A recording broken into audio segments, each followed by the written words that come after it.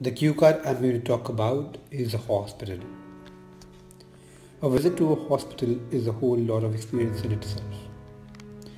During the last summers, one of my friends met with an accident and was admitted to hospital. When I went to see him, I went to the hospital for the very first time in my life.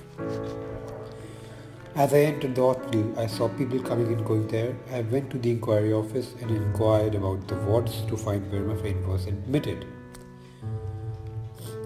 Firstly, I passed through the surgical ward. I saw patients lying silently on their beds.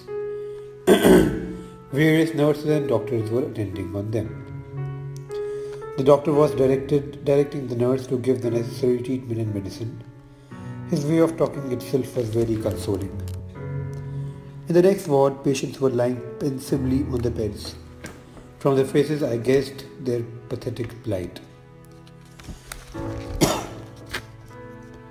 The doctor came on round, followed by other staff members.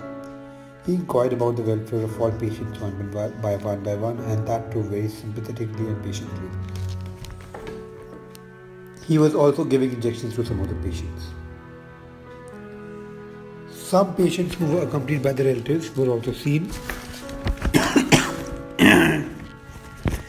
the relatives were squatting in lawns of the hospital. As a whole, the entire hospital presented a very gloomy look. The plight of the patients and the seriousness of the atmosphere prevailing there touched me deeply.